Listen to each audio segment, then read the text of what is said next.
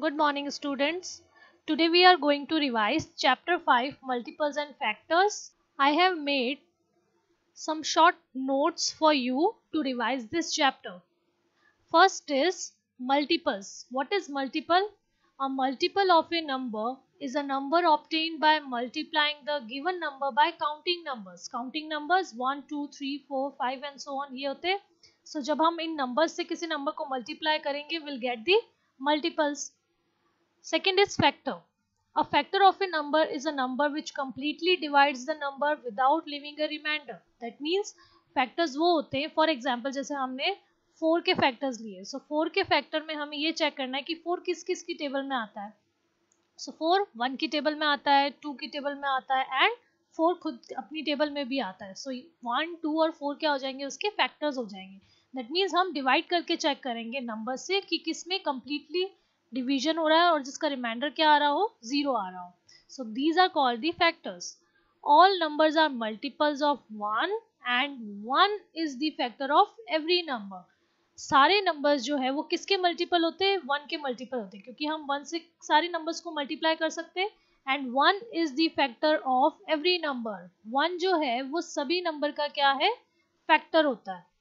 Then even numbers even numbers जिसके last place पे zero two four six और eight में से कोई नंबर आता होगा so those numbers are called as even numbers odd numbers जिसके लास्ट में one three five seven nine में से कुछ नंबर आते होंगे so those are called as odd numbers prime numbers having only two factors जिसके सिर्फ़ टू फैक्टर्स ही होते हैं one and the number it या तो वो वन से डिवाइड होगा या वो खुद अपनी टेबल से डिवाइड होगा so those numbers are called as prime numbers next is composite numbers. So, having more than two factors other than one and the number itself. यानी वन और खुद की टेबल से छोड़ के और भी बहुत सारे नंबर से कोई नंबर्स डिवाइड होते हैं so those numbers are called as composite numbers zero and one are neither prime nor composite zero और वन को हम ना तो प्राइम नंबर्स बोलते हैं और ना ही कॉम्पोजिट नंबर बोलते हैं right and two is the only even prime number two जो है वो only one even prime number है। बाकी सारे जितने भी होते हैं वो सब ऑड होते हैं। Co-prime numbers co-prime numbers are those two numbers that are having common factor as one जिसका ओनली वन यानी सिर्फ़ वो वन से ही डिवाइड होते होंगे और वन ही दोनों में क्या आता है? कॉमन आता है।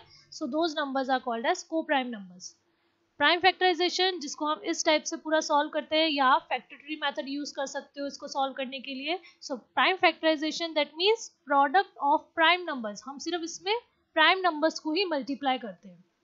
These are the test of divisibility first is divisibility by two यानी हमें चेक करना है कि कोई नंबर टू से डिवाइड कब होता है तो उसकी लास्ट में ज़ीरो टू फोर सिक्स या एट अगर इनमें से कोई नंबर्स आ रहे होंगे तो वो नंबर टू से डिवाइड होगा। डिविजिबिलिटी बाय थ्री थ्री से डिवाइड हम कैसे नंबर चेक करेंगे? हमें जो भी नंबर दिया हुआ होगा, उनके नंबर्स को ऐड करना है। Sum of the digits that सारे डिजिट्स को हमें ऐड करना है और चेक करना है कि वो थ्री से डिविजिबल है या नहीं। So that the number is divisible by three divisibility by four so four से डिविजिबिलिटी नंबर्स कौन से होते हैं? जिसके last two digit of a number is divisible by four उसके सिर्फ़ लास्ट टू डिजिट आपको चेक करने हैं और फोर से डिवाइड करना है। अगर वो कंप्लीटली डिवाइड हो जाता है दैट मीन्स कि वो फोर से भी डिवाइड होगा। Next is divisibility by five अब फाइव से डिवाइड होने वाले नंबर्स कौन से होते हैं? जिनकी लास्ट प्लेस पे या तो ज़ीरो होगा या फाइव होगा। डिविजिबिलिटी बाय सिक्स सिक्स से डिवाइड होने वाले नंबर्स कौन से होते हैं? That number should be divisible by two and three जब वो नंबर टू और थ्री से डिविजिबल होगा दैट मीन्स वो सिक्स से भी डिवाइड होगा। डिविजिबिलिटी बाय सेवन सेवन की डिविजिबिलिटी चेक करने के लिए हमें जो भी नंबर दिया हुआ होगा, उसका लास्ट डिजिट देखना है और उस लास्ट डिजिट को क्या करना है? डबल डबल दैट मीन्स हमें उसको टू से मल्टीप्लाई करना है and the rest of the number जो भी रेस्ट ऑफ़ द नंबर्स होंगे, उसको हमें इस टू से मल्टीप्लाई किए हुए नंबर से सब्ट्रैक्ट करना है। और हमें चेक करना है कि वो नंबर जो आएगा वो सेवन की टेबल का कोई नंबर है या नहीं।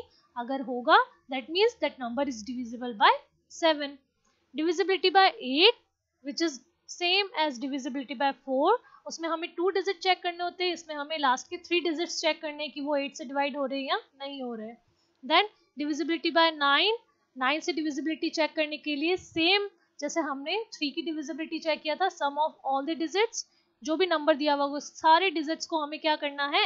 ऐड करना है।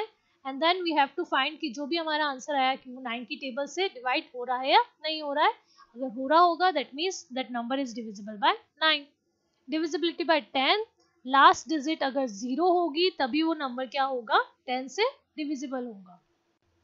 So the homework is you have to do this revision work in your notebook and you have to prepare chapter 5 multiples and factors for test that will be taken on Monday. Thank you.